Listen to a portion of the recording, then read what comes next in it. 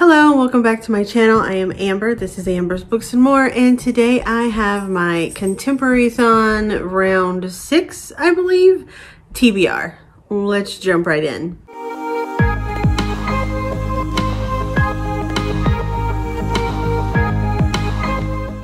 So Contemporary-thon is my absolute favorite readathon. It is hosted by Julie over at Pages and Pens. Natasha from My Reading is Odd, and Chelsea from Chelsea Dolling Reads. Um, it's taking place um, on this date. It's in February, going through the 14th or 15th, uh, but I'll put the dates here so that you know.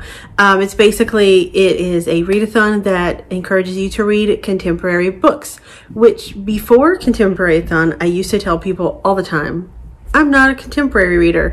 Uh, turns out after a few of these readathons, I absolutely am a contemporary reader and I'm very excited to participate in this round as well. So there are seven prompts. I have picked seven books. Honestly don't think I'll actually get to all seven.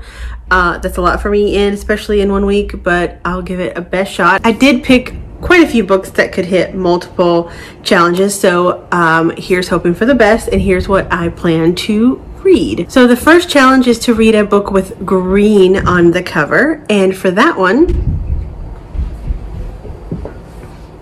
I am going to be reading Be Not Far From Me by Mindy McGinnis. This is an arc that comes out um, March, on March 3rd. This comes out. Um, it's pretty short. I've actually never read anything by Mindy McGinnis, so this could also fit some of the other challenges as well. But I am picking this one for green because these trees, while a very dark green, and I also have other green books that I could pick for this, but um, I think this is a survival story. I'm not usually big on survival stories, but I've been told that Mindy McGinnis's writing is phenomenal. So I'm excited to at least give it a shot. It's only like 230 pages, so it's good for a readathon and I do want to get this reviewed before it comes out. Also, the arcs that I'll have in this, just in, in case you don't know, I actually went to ALA, which is the American Library Association uh, festival. It was midwinter in Philly just a couple weeks ago. So that is where I got all of these arcs. So yeah. The next challenge is to read a diverse contemporary, which is my one of my favorite uh, prompts, especially in February because it is Black History Month. So I do try to pick books that have Black characters that are written by Black authors to support Black History Month. So this time around, I'm going to be reading Get a Life, Chloe Brown by Talia Hibbert.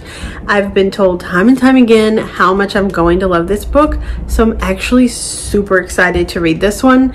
Um, and I haven't been doing great at reading my book of the month club book picks. So I do, I am happy that I will be getting to this one. So this one is about a woman that is chronically ill and she makes a list of things that she wants to do to help her get alive and she needs help. So she enlists this gentleman. That's all I know about it. I do like to go into books knowing as little as possible, but I think this is going to be a fun, sweet, like rom-com, which is one of my favorite contemporary like genres to read. So um, this one is definitely going to be done in February for Contemporary-thon. I guarantee it. Or, I don't know. I'll be mad at myself if I don't. The next prompt is to read a book with a illustrated cover. So for the illustrated cover, I'm going to pick another arc. It is Separation Anxiety, and this is by Laura Zigman. So this is about a middle-aged woman that her kids have all like you know, left the house. She's feeling a little bit lonely and has a little bit of emptiness syndrome. So she decides to start wearing her dog in a baby sling. And I think it's just about her finding herself after, you know, children and as she's an adult. And that is something I'm definitely interested in, even though I don't have children and I don't plan on having children. Um, I do understand the separation anxiety that can come in with your pets and with people that you love. So um, this one goes on sale in March as well. I don't know, it doesn't say the exact date, but I think it's March 3rd. If that's different, I'll put a different date up here. But um, this one is one that seems super cute. It has this really pretty super adorable illustrated cover. There's even like the little dog on the side here. So this one is um, one that I am excited to get to. And I've never seen an arc that had like deckled edges. I don't even think you could see it. Um, but it has deckled edges, which is kind of cool. Um, yeah. Okay, sorry if the angle has changed. I had to rework my TBR really quickly because the book that I had for the next prompt I actually realized it wasn't fully contemporary. It had a lot of uh, fantastical elements and I didn't think that that was fair.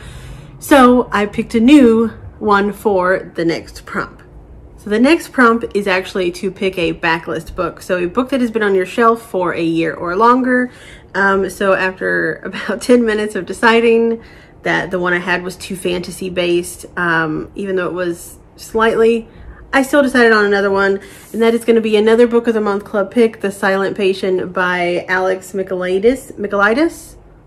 Michaelides, Michaelides, something like that.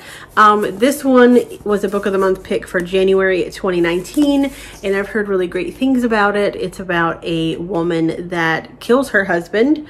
I believe she stabs him. I'm not sure exactly, but she's gone silent afterward. And everybody's wondering what happened. Did she you know have kind of a mental breakdown? Did he you know abuse her to push her into this? This is definitely going to be something that is a little on the hard-hitting side um which you know I like hard hitting. This is a little hard hitting, but I'm going to use this for my backlist book because it has been on my shelf for over a year, for a year now at least, and um, I'm excited to finally get to this one. So the next prompt is to read a book by a new to you author, and though technically I think all of the books on my TBR this month are new to me authors, I did want to pick an arc that I got from ALA. Um, so this one I picked was Pretty as a Picture by Elizabeth Little. This is like a murder mystery thriller type novel. It's about this group of people that go to this remote island to film a movie with like this ego, you know, egocentric movie director and it's about this like centuries old murder that was never solved. And then these like teenagers i believe show up to because they're like trying to solve it and things get crazy. There's murders there's things happen. It sounds exciting. It comes out on february 25th so right after the readathon is over. So i do want to get this read and reviewed before the readathon is over. So this one will definitely be one of the first ones I pick up probably. Um, but it sounds really good. It's a new to me author. And um, I actually really like the cover for this. It's kind of creepy. But yeah, the next prompt or challenge, whatever you want to call it, is to read a dark or hard-hitting contemporary. And for that, I've decided to read another arc. But this is The Last Confession of August Casterly. And this is by Meredith Tate. So this is about uh, two sisters. One sister is kind of the younger, good, nerdy sister that likes to talk about Star Wars. Uh, me, basically. And then the other sister is kind of having a hard time and is into, like, there's a drug scene and things. And then she suddenly goes missing and her sister has to try to find her and help her. And I, full disclosure, I did start it. Um, I got about 60 pages through it and I decided I wanted to wait um, and read this during Contemporary-a-thon. So I am 60 pages in, but that's not, like I'm right here. So that's not that much. Um, but yeah, so far so good on this one. And this one definitely I think is to be dark because it has a lot to do with I think the sister's mother's death that happens before the book. I think that um, it's, I think I just think it's going to be really good. So yeah, I'm definitely, I mean, that's going to be the first one I pick up because I'm eager to get back to it because I did enjoy the writing of what I read so far. So the last prompt in the last book on my TBR is to read a beloved book by somebody in the book community or by the book community overall.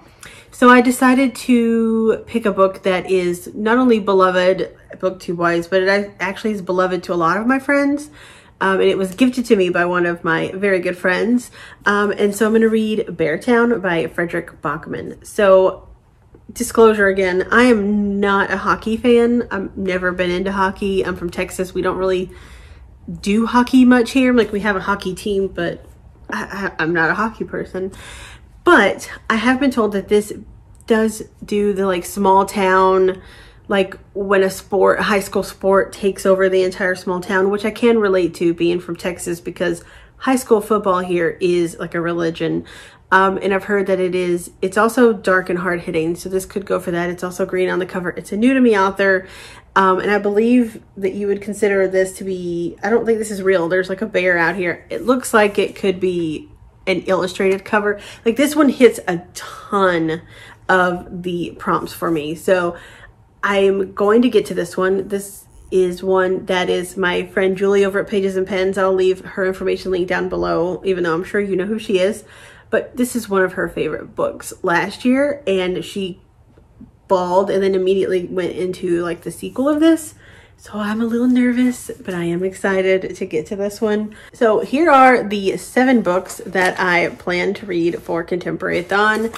Next week, I honestly, I don't see me getting to all these books. Like, that's a lot of books. And I've, I read five books in January, which I'll actually have a video coming out um, Monday for my January wrap up with five books. But so I don't see me reading seven books in one week when I read five books for the whole month of January.